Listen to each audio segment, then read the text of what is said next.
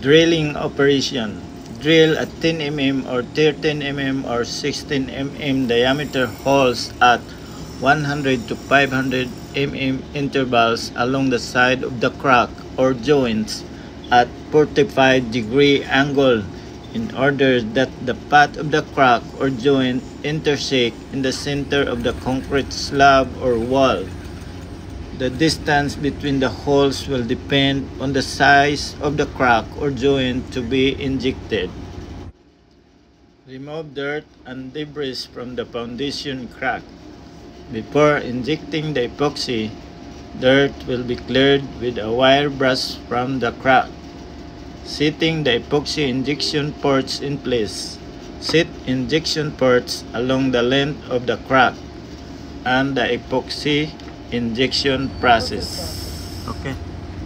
Epoxy crack injections are typically performed at a lower injection pressures, 20 to 200 psi, and with surface-mounted ports.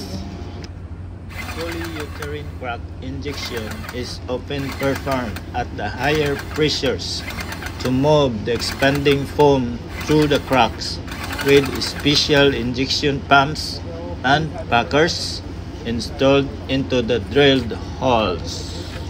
Continue to slowly inject material into the port until the low viscosity epoxy starts to emerge from the next port directly above. Remove the mixing nozzle from the first port. Place the cap on the port and insert the mixing nozzle into the second surface port from which the epoxy has just emerged. After allowing the epoxy to cure inside the crack, the surface ports can now be knocked off with a hammer or ground off with a grinder and abrasive disc.